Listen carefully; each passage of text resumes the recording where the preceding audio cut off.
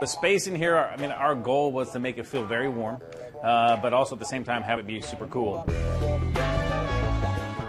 So basically, people could come in and have that, and have a you know a very unpretentious fine dining experience, but not have to go downtown and do it.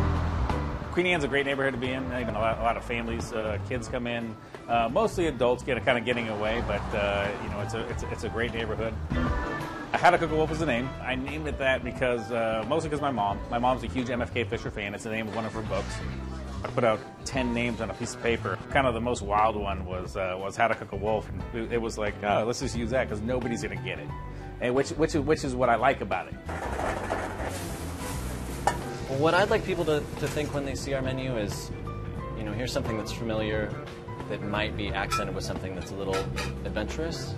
And it ends up being this dining experience where one thing comes and another thing kind of flows into it. The third thing flows as the first one's gone, and so it ends up being this kind of you know th- you know this really pleasant flowing of food. When people come in and How to Cook a Wolf, we, I mean, we really want them to feel like they're in a special place, but it's also really, uh, really clean lines, uh, really simple, and you know the food's really very much matches that. We want people to eat well and dine well and be treated well and uh, have a good time.